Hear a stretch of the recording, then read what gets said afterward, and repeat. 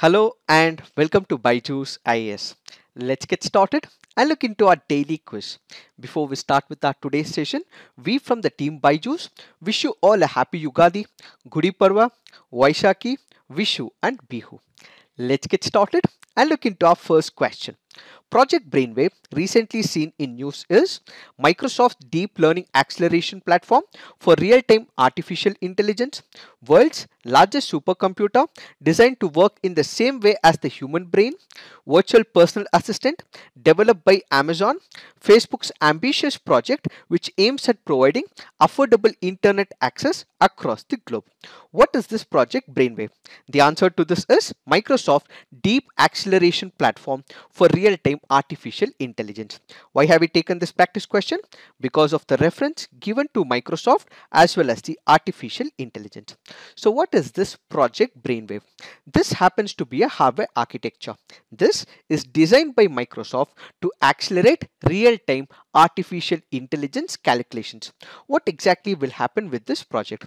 This project will help in decreasing the ultra low latency and the system processes will be much faster than ever before. It is this that we have to understand in reference to this article. Now let's look into the next practice question. Which of the following statements about AT1 bonds is or correct?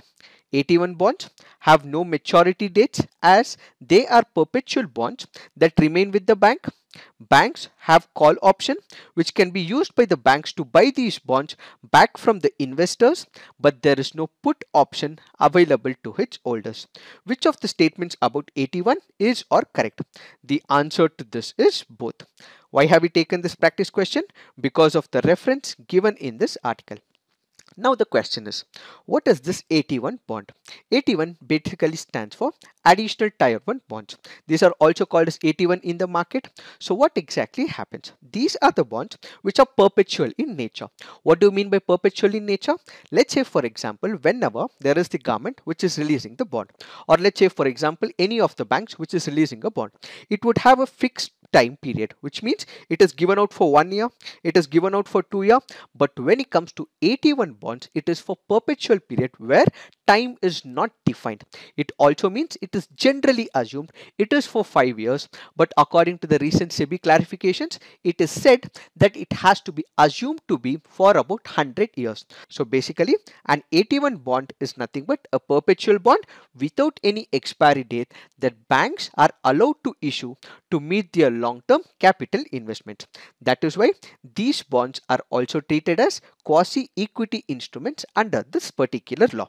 Who controls this AT1 bonds? Remember, it is controlled by the RBI.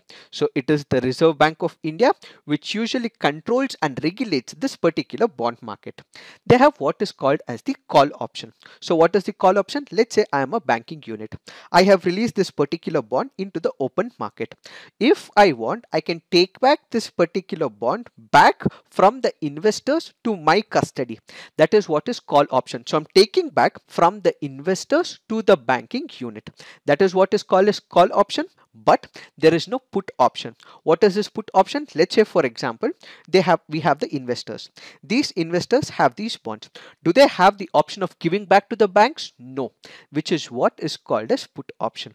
An elaborate video once again for what is this AT1 bond has been explained in one of our videos kindly request you to watch this entire analysis. Why? Because the concept of AT1 bonds is very important from the economy perspective. Since it's a long discussion, the link will be given. Kindly look into the video. Now let's look into the next practice question. Which of the following is or kharif crops? Rice, wheat, cotton, barley and maize? The answer to this is 1, 3 and 5 only. Why have we taken this practice question? Because of the reference given in this PIB article. Why is this important? Because UPSC in the past has asked about Kharif crops. It has also asked about Rabi crops. In the exam hall, when you are seated in that tension, you might forget the logic or you might not remember which are the Kharif or the Rabi crops. This is one of the tricks that we have come up with. What is it? You have to remember.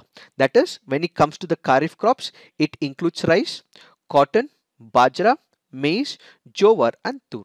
How do we remember this? If you are a cricket fan, what we have is RCB. So what does RCB stands for? Rice, cotton and bajra. Then the representative or the ambassadors for RCB will be Michael Jackson. So what do we have? We have maize and jowar and the ambassador is called to come to the ground. So what do we have? We have tur dal. So tur will be two and we have groundnuts as well which also happens to be a kharif crop. So the logic that you have to remember is RCB's ambassador MJ. Is coming to ground. So the ground here stands for the groundnut. So the answer would be RCB MJ to ground. If you can remember this logic, please do remember or if you can come up with such innovative ones please put it on the comment section.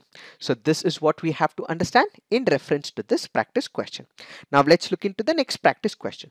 Which of the following statements is or correct? The chief election commissioner has more power than the two other election commissioners. In case of difference of opinion amongst the chief election commissioner and two other election commissioners the opinion of the chief election commissioner is held valid as he is the chairman of the election commission. Which of the statements given here are correct? The answer to this is none. Why? That is because when you look into the first statement, the chief election commissioner has more power than the other two election commissioner. This is absolutely wrong. Why? That is because the chief election commissioner has equal powers equal salary, allowances and perks. So all the election commissioners have equal powers and that is equal to those of the judge of the Supreme Court. Now when we look into the second option, in case of difference of opinion amongst the Chief Election Commissioner and two other election commissioners, the opinion of the Chief Election Commissioner is held valid. This is again wrong. That is because when there is a dissatisfaction, when they are having issues to sort out a particular problem, then in such a case, it is the vote of the majority that which will be considered. Just because there is Chief Election Commissioner who happens to be the chairman of Election Commission does not mean his point will be held valid, but Instead, whatever is the majority, that is currently we have three election commissioners. So whatever will be the majority, the majority would be taken and that will be implemented when it comes to the election commission practices. Why have we taken this practice question? Because of the reference given in this article. Now let's look into the next practice question. Consider the following statement. Bijak is a composition of the teachings of Saint Dadu Dayal. The philosophy of Pushti Marg was propounded by Madhavacharya. Which of the statements given above is or correct? The answer to this is neither one nor two. Why? Because Bijak was not composed by Saint Dadu Dayal but instead it was composed by Kabir. And when you look into the second statement, the philosophy of Pushti Marg was not propounded by Madhavacharya, but instead it was by Vallabhacharya in the 16th century, which was on Lord Krishna. Now let's look into the fact of the day. The fact of the day for today's discussion is Shantir Ogrosena. This was a 10-day multinational military exercise which was organized to pay tribute to Bangabandhu Sheikh Mujibur Rahman on his birth anniversary and celebrate the golden jubilee of the liberation of Bangladesh.